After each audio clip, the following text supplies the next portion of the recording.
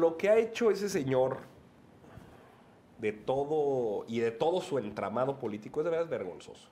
Eh, encararon a un presidente de un partido político, porque últimamente las personas que están dentro del el espacio de debate estaban acreditadas por parte del Instituto Electoral de Coahuila como parte del equipo de los candidatos.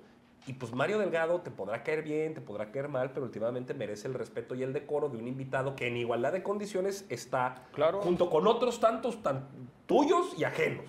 Entonces, eh, fun- exfuncionarios de la Secretaría de Seguridad Pública Federal que trabajaron con el candidato del PT y su esposa, pues fueron a agredir verbalmente y a ponerle el dedo en la cara a Diego del Bosque, nuestro presidente estatal, y a Mario Delgado, en un acto que me pareció de verdad ridículo, vulgar, eh, eh, grosero, eh, eh, además repitiendo ínfulas y mentiras que no dan lugar ya en un espacio de, de- de- de debate, era una convocatoria El verdadero debate democrática. se dio afuera. Claro, era, era una, demo- era una convocatoria de participación ciudadana, Yo no, veo, yo no veo democrática. debate, creo que fue una agresión.